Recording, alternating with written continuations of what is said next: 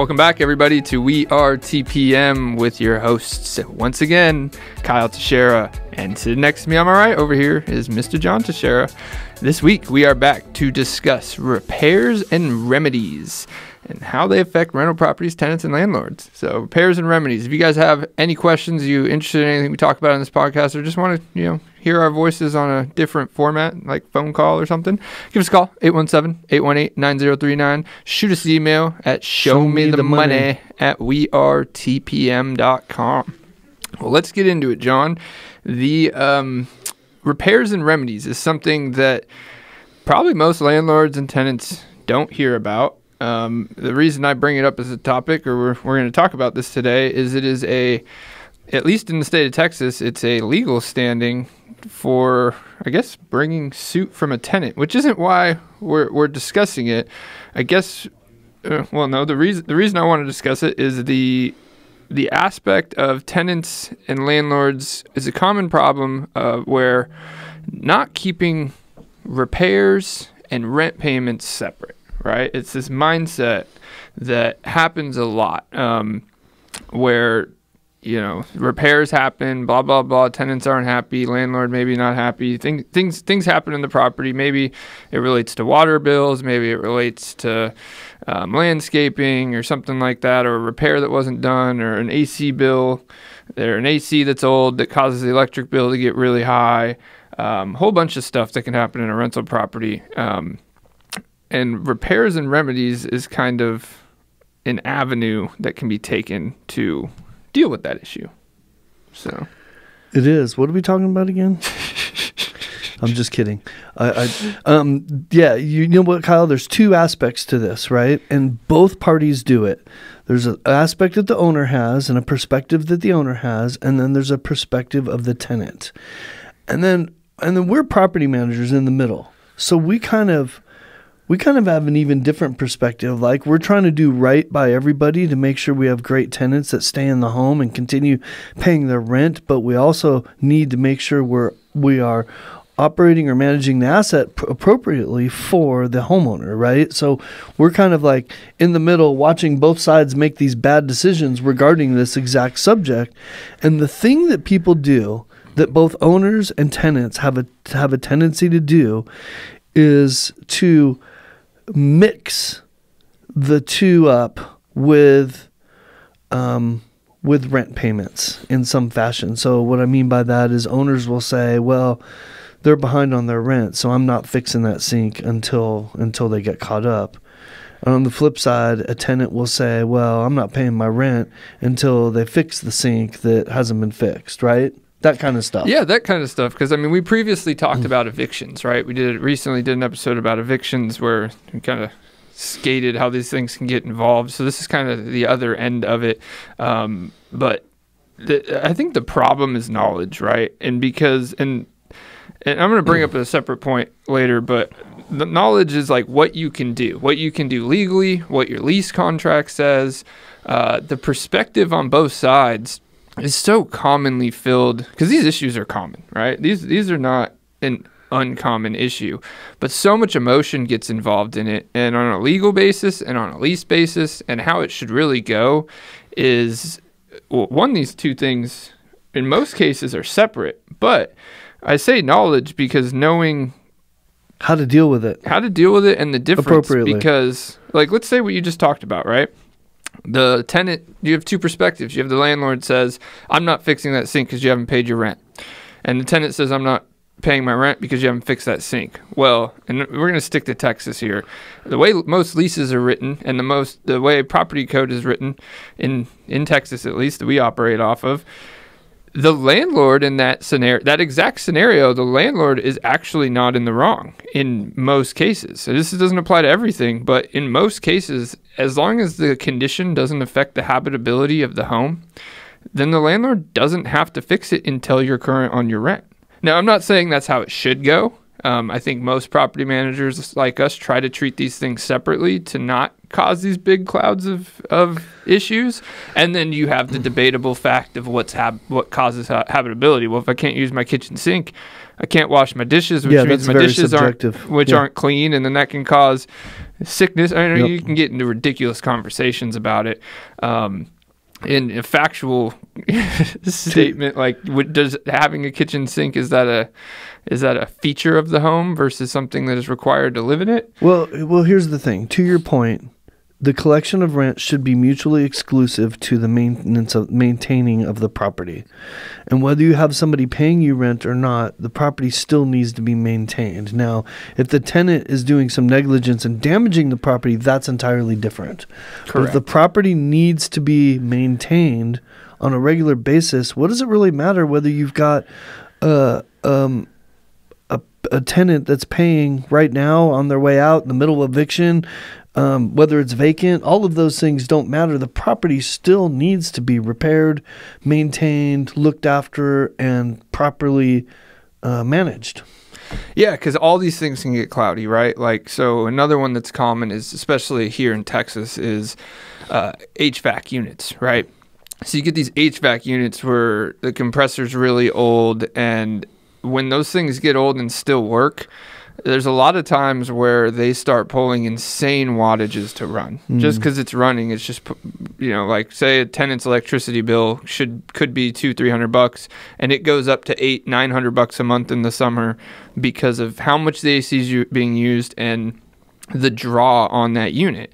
Well, this is where you get muddy, right? Like, okay, well, the AC's running, so the landlord technically doesn't have to do it. But now the tenant's saying, well, I can't afford my rent because my electricity bill is 800 bucks um, or whatever it may be. You know, the reality of the situation is that the wow you c- these you have to deal with these things in a certain way right because the tenant has a financial point You really chose a complicated analogy there, didn't you? I did because this is one of the most common. Is like because the electricity bill is responsibility of the tenant in most cases, and uh, landlord's providing a working HVAC unit, right? So, but then we get into the conversations of okay, well, would you if you were this if you're the landlord, you think this tenant's going to renew their lease knowing they're going to have another summer like this the next summer? Probably not, right? So you have to take all those things into consideration. But like I said before, on a on a legal lease basis in most cases, then landlord really doesn't have to do anything. So this is where um, a lot of these cases get brought up because repairs and remedies as a well before i say this right the, we are not attorneys or lawyers. This is, this is not legal advice. Do not take this legal advice. Um, but repairs and remedies is a, is a coined term in property management here in texas for a suit that can be brought by the tenant against the landlord with justification for withholding rent. And this HVAC example is a horrible example because you're probably not going to win that one. Um, but there is other ones like Yeah, I like mean- leaks, right? So leaks Yeah. is another common one. Yep. You want a leak analogy? Since Sure, you go can- for it. You like leak. Get a leaking. I don't know. What do you got? We got a leaking. Uh, Let's say the Laundry valve. we had a slab leak, right? Oh, slab leak under the slab. Um, you know, they notified you of it. Water bill's really high. Uh, and in most cases, once that leak's fixed, most cities that don't suck will, or most water departments don't suck, will take that, you know, repair, take that invoice, see when it was done, look at current usage, and give the give the tenant a credit on their water bill towards that water adjustment, right? So a lot of cases, the water department will deal with it, um, but then it technically falls on the landlord after that or the homeowner to pay for any increased uses of water due to a failure in one of the home systems. I think the point that you're really trying to make is that that while people confuse these two things together, that if you're an owner, you shouldn't, and you should treat them mutually exclusively, right? And if you're a tenant and you're having trouble getting a a homeowner, landlord, property manager to do something that you feel needs to be done that was not tenant negligence, right? Then you're only and they're not doing it, they're refusing to do it, then your only recourse is to take them to court. And withholding rent, if you end up in eviction court, which happens all the time, doesn't it? If you end up in eviction court because you refuse to pay rent because the landlord wouldn't do something, the judge is going to look at you and say, "Well, this isn't the court for that. This isn't the proceeding for that. This isn't a an eviction proceeding that that deals with rent collection and possession of the home and you're now going to lose possession of your home and get a judgment against you because instead of instead of what's the alternative Kyle what should they have done Well, a repairs and remedies case, because what you're what you're talking about is really the two sides of tenant and landlord suits, right? Like a landlord can bring an eviction suit against a tenant, and in most cases, that's really all they can bring against the current tenant, right? And the tenant can bring in repairs and remedies, right? So the landlord has to go through a legal notice process and these steps to do eviction properly, right? We've said that before. Well, on the other side of it, tenant has to go through a notice process and steps before they can bring a repairs and remedies case. But we have seen it dozens, if not hundreds of times, where the tenant just wants to to bring this up in court and have a judge decide. Well, they're they're talking about it like this is a legal this suit. is an eviction proceeding it's not a civil trial about about the repairs Yeah. right And I mean, maybe And you'll so- get lucky and a judge will hear you out for that. But in reality, good luck with those numbers adding up because even if the judge determines, yeah, they owe you a thousand bucks, but now you owe them two grand in rent, well, now you just get a lower judgment. You know, you still didn't pay your rent. So, So if you're a tenant and you're having the your tenant I described and you're having trouble, they need to go down to the courthouse and file a suit, the appropriate suit that you're calling no, re- it- repairs well, and remedies, right? I'm not going to make that suggestion because there are steps, just like there is steps in an eviction where you have to send a notice and all those things. And no, no, no. What I'm saying is, all I'm saying is that, that that's the recourse. That's the recourse they have to to instead of bringing it into an eviction courtroom. Is all I'm saying. That yeah, was that was send the, the notice and yeah. send justification because so commonly we see we see this issue a lot and it's so much i say there's so much emotion in it because like these these this is a business right? So you can't come to a landlord and say i feel like you know i deserve a credit for this or i feel like this is your responsibility and that's all you say. Well what's their responsibility? Is $800 their responsibility? Is $200 like what what are you going to come to that eviction court with? Well they didn't credit me for this blah blah blah but i didn't even ask for a number you know? Those things need to be considered because this is common. And i mean how often do we deal with i guess issues these types of issues as far as just directly with the tenant and the landlord Well, we're uh, we're constantly dealing with them directly with the tenant and the landlord. That's what we do, right? We we we do everything we can to make sure that these things don't get all the way to a courtroom. Some people are just stubborn, right? Yeah. And that's where they want it to be. They don't want to deal with you for whatever reason. They want to deal. They think that in a courtroom that they're going to get one over on you. And people don't understand how these proceedings work. These proceedings work in a very specific way for a very specific reason, and you can't just go willy nilly, you know, expecting to go into a courtroom, making a case, and having you know somebody side with you and and and get your way to all, all the things that you need. All of a sudden are going to happen because the judge said so. Yeah, we, we, we bring this up because it is important to both sides. Like we aren't just sitting here talking about this so that tenants know what to do. That's not our intention We've- at all. Landlords need to know what to do too. We've fired owners over this issue. yeah, right? because I mean, well, because they everybody's got a responsibility. Our job is to kind of hold everybody to their responsibility. Right. Well, even if you're doing it right and not making your payments, like okay, well, if you think the landlord owes you six hundred dollars towards your water, so you withhold rent for three months until you land in a courtroom, even if the judge sides with you at the six hundred, you've probably racked up more than that in late fees and eviction filing fees, and sure, now you get your six hundred dollar credit and you owe them eight hundred bucks in late fees, like that doesn't make any sense. So you have to, you know, know your responsibilities and still make your payments accordingly, um, unless you go through the proper channels, right? I mean, because and I say we see this a lot because we deal with this a lot and we deal with it in in eviction court a lot. Um, Well, we we've get been to hundreds of eviction courts, right? How many times have we dealt with a repair and remedies case? well, I don't know about hundreds, but we've never dealt with a repairs and remedies case. I mean, we have we have. in the court in in, In a the court of law? How many times have we dealt with a repair and remedies case Well, I actually know of two, but yes, two. That were actually brought against us? Yes. Did you do them? No. That's what I'm saying. Uh, no, you're thinking of small claims after the fact. Oh yeah. Of a current tenant, repairs and Yes. remedies has never occurred, and that's a Mm. testament to. I You're guess right. that- that's a testament to how we deal with it, but it's also a testament to how common it is for these things to just escalate, you know, and on both ends it escalates. Um, escalates to a landlord not getting rent for two, say a month or two, right? And tenant now realizing they didn't do it right, and maybe they had it, maybe they had a case at the beginning, you know.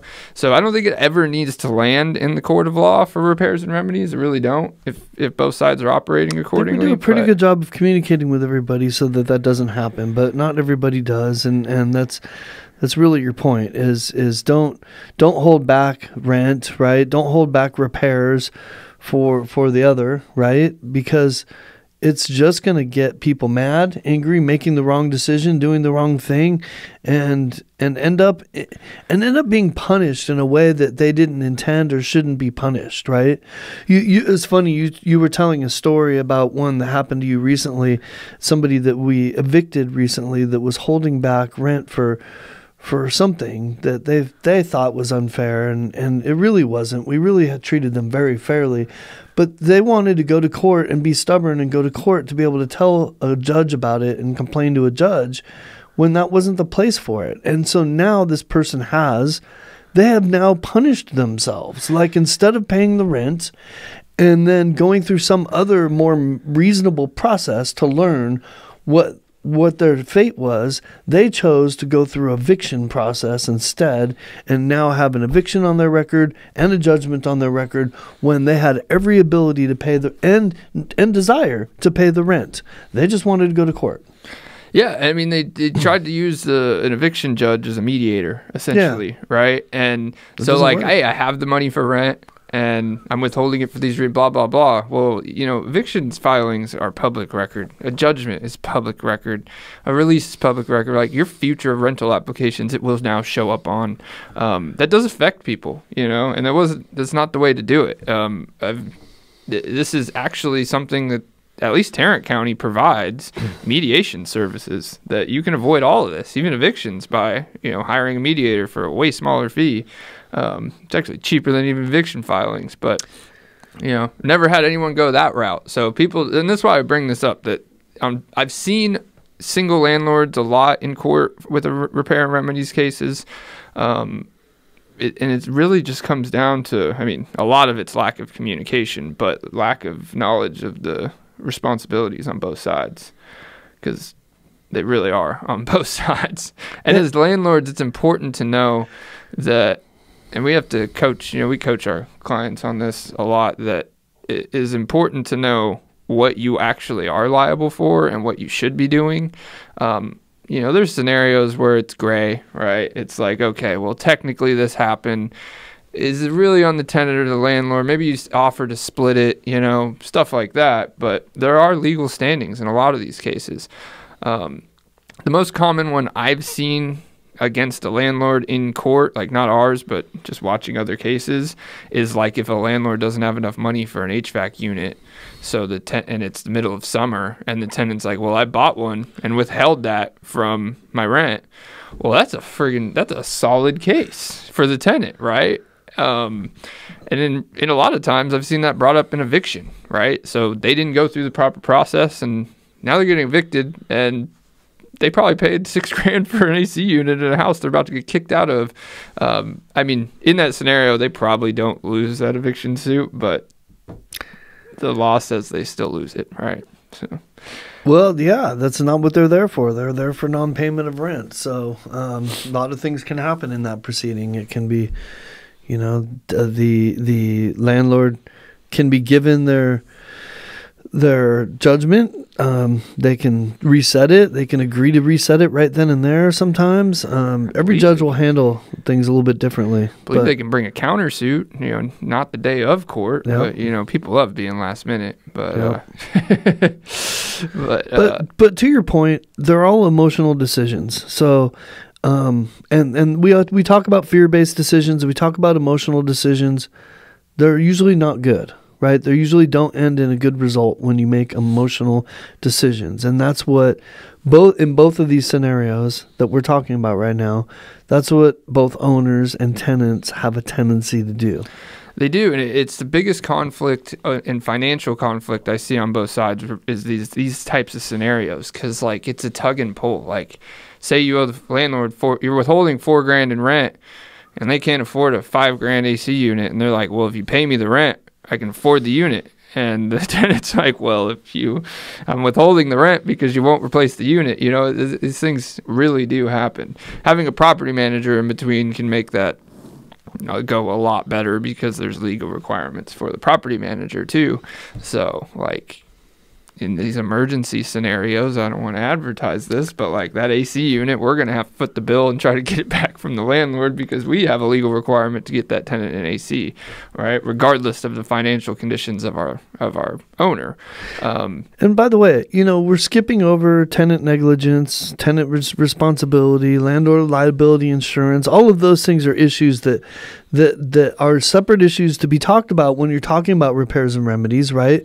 And we're skipping over those things for the purposes of this conversation because that wasn't the purpose of this conversation. Was the purpose of this conversation was to get let's clar- get clarity from both owners and tenants on what what you, the right thing to do is, right? And Mhm. and should you be doing this repair whether or not you're getting rent should you be withholding back rent whether or not this repair is getting done those are common emotional decisions that are made all the time and they're usually made without the proper knowledge like you said Mhm. at the beginning like if people just understood the process a little bit better and you know what we got this cool thing now i've been trying it every once in a while it's called google it's amazing. it's amazing. And, and if you use it, if you know what this is, it's like a search engine, right? And you put whatever you want in. You could say, tell me about the eviction process. And it's amazing. So, I mean, tell like Bard that or like Chat GPT that you're gonna get yeah, you some could, real you good could do all that but, stuff. You know, yeah. uh, you Again, could not ask legal Alexa. advice. You could ask Alexa. She could tell you all about it. I wouldn't advise that one. This is this is all for entertainment purposes, but I'd be real surprised if Alexa gives you a valuable response. The but- point is, there is no lack of resources to find out exactly how to do this. And if you're making emotional decisions and you're not even picking up your phone and doing a little bit of research to figure out how you should be doing it, then then you're just doubling down on on a bad decision. Well, and eh, at least here in Texas, like in you know, it, negating any county laws that may add on to this. In, in the state of Texas, property code outlines these two things in a very black and white manner. You know, when it comes to property code, like with evictions, it's very cut and dry. It's did you pay your rent or didn't you? With repair and remedies, it's like it's it's as cut and dry as that can be, right? These are the responsibilities laid out by both parties in your lease. Were they fulfilled? If not, here's the remedy, right? Um, that's the thing, you know, get get the knowledge on both sides, right? Mhm. Yep. Um, as I I wish, maybe not. I mean, I'm not going to say I wish every tenant knew that this legal process existed, and because we don't want every tenant going that route. I don't think it needs to take that, but knowing what their responsibilities are and the landlord knowing their responsibilities on, in these scenarios is is huge to getting a resolve, but also saving time, right? Because while we say this is an emotional decision, like these, if, if these things take a month or two to get resolved, and you're still in an emotional scenario, landlord, like I said, is like, all right, we we we have a resolution now, but you still owe me late fees, all right, or or whatever it may be. So it's another another point of compromise. You have to deal with a lot of compromise in rentals. Yep. Um, but like like we said earlier, the landlord also doesn't have to repair some things if you aren't paying your rent. So the best way to operate, and we tell our tenants this, is no matter what we're dealing with, pay your rent.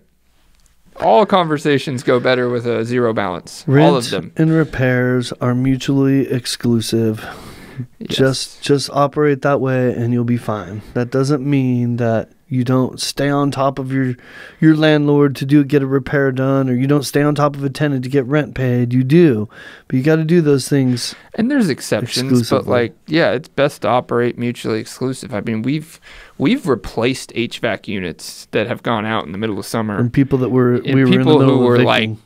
You're you're getting a constable at your house in three days, but by the way, the AC guy is going to be there to, later today. Yeah. Um, That's but I, I also need keys on Wednesday. regardless of where regardless of where it is in that process, the property still needs to be maintained. Yeah, because the responsibilities are mutually exclusive. You Yeah. know, you know, maybe you don't fix the shower Uh, you know, two days before the constable shows up. But you know, maybe shower was a bad example. Kitchen sink. I like. I like that. You know, one. you know what? Just to wrap this up, Kyle. You know what this also does. This, this. If you when you treat people right, they behave a little bit better. Hopefully, they don't always, but hopefully they do. So, for instance, let's use that example. That's a good example. Let's say AC goes out in the middle of the summer and you're a week away from evicting somebody. You already have the eviction, and the constable is going to come out in five business days, which come, amounts to one week. Okay. Mm-hmm. And then you find out the AC went out.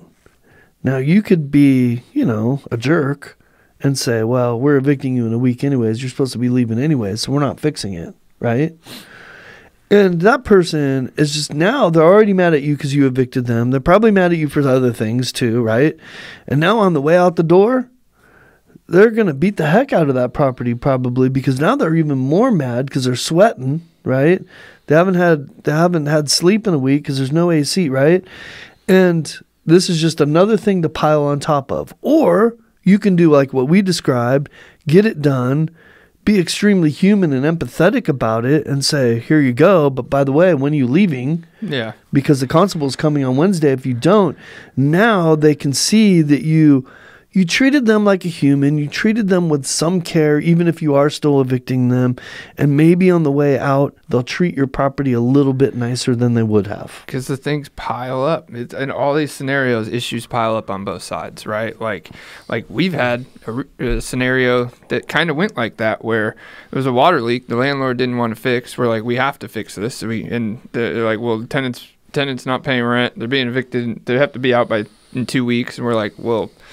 You know, sure. Ignore the damage to your property for an active leak. Uh, you know, let's just ignore that for a second. We still have a responsibility to fix it and you know get so we get it fixed and then the tenant has high water bills right wants a credit from the homeowner for their high water bills because Oh, they still owe the city and you know but because they're so pissed off to damage the property on their way out We well it's like you know okay well give me your bills whatever all right well you looks like yeah you're owed 600 bucks for a water bill here's a credit and now you owe us four grand for all these damages i mean like all those things didn't need to happen right you know and they, plus the rent that the back rent and all those stuff all that stuff it it And- happens because of operations And we right? did what we were hired to do there, and we didn't like it, right? So we, when we were all done and everything was all said and done, we just we went our separate ways with that home, homeowner because they were not willing to operate the way that we felt was um, was with integrity and, and the way we, we thought you should do business. And I mean, yeah, the, responsibilities, like we said, the responsibilities on both sides. Mhm. Um, you know, because emotions on both sides, we try to get rid of them, right? But they can cause problems, like damaging a property on the way out. You know, um, and on the landlord side, your own letting your own property get damaged due to, uh, yeah, what, what's the word you used? I don't know, Negligence?